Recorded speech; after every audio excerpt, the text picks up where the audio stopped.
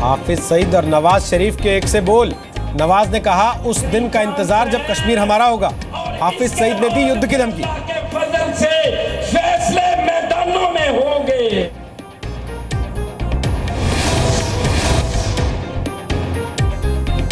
भारतीय वायुसेना के विमान एन थर्टी टू की तलाश जारी। बंगाल की खाड़ी में लापता हुआ है विमान।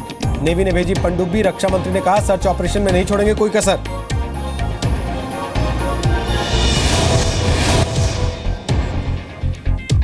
समान नागरिक संहिता पर केंद्र सरकार बोली, इसे लागू करना राज्यों की ज़िम्मेदारी, मसला गंभीर, इसलिए फ़िलहाल लॉ कमीशन के पास भेजा गया।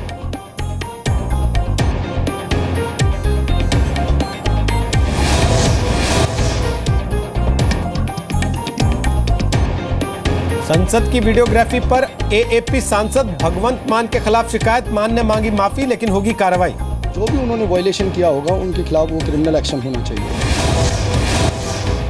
दयाशंकर की पत्नी और माँ की शिकायत पर मायावती पर एफआईआर। नसीमुद्दीन सिद्दीकी रामाचल पर भी दर्ज हुआ मामला। कल तक मेरे पास किसी का सपोर्ट नहीं था। मीडिया ने इसमें बहुत बड़ा रोल मीडिया का बहुत बड़ा रोल है। उत्तराखंड में अगले 24 घंटे भारी बारिश की चेतावनी कोट द्वार में पानी में बही कई गाड़ियाँ।